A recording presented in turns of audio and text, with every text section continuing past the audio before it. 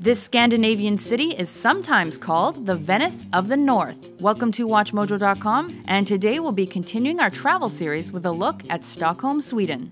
Not only is Stockholm the most populated region in Scandinavia, but it is also the capital and largest city of its native Sweden. The 2.1 million people living within the metropolitan area of Stockholm are spread over 2,500 square miles of land. The city itself is built across 14 islands that are joined by almost 60 bridges, and it is because of this that you are never far from the water when visiting Stockholm.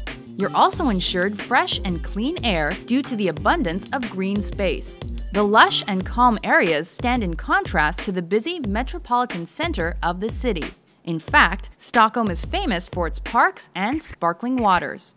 Aside from being the home to the government and monarchy, Stockholm is well known as a cultural and business center.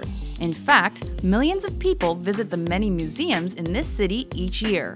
Stockholm was founded around the year 1250 and, as such, is rich with history.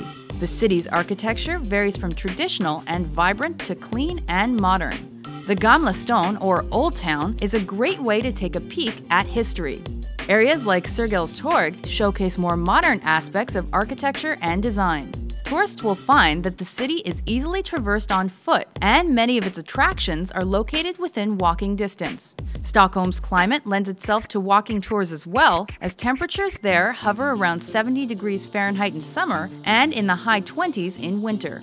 Adjacent to the city, you will find the Stockholm Archipelago. This is a large grouping of islands that lines the coast of the area. It is very popular to cruise between these islands, and boats are often found coasting through the waters. Lush green parks, historical sites, and island jaunts are just a few of the attractions that make Stockholm one of the most beautiful capital cities in the world.